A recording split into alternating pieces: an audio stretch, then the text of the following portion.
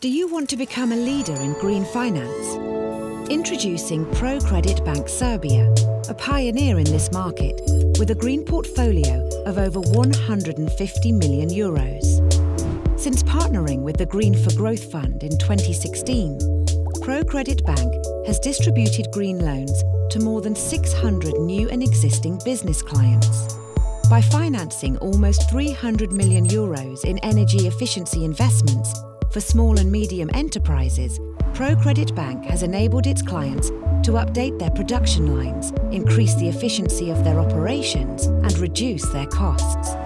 Through helping businesses modernise, ProCredit Bank has become an attractive partner, offering green loans which support them to gain a competitive edge.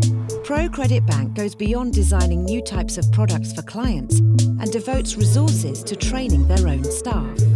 This way, the bank becomes a partner to its clients, consulting them on how to improve their environmental performance. This partnership demonstrates how environmental and business performance can go hand in hand. Get in touch today to learn how green loans for businesses can grow your portfolio.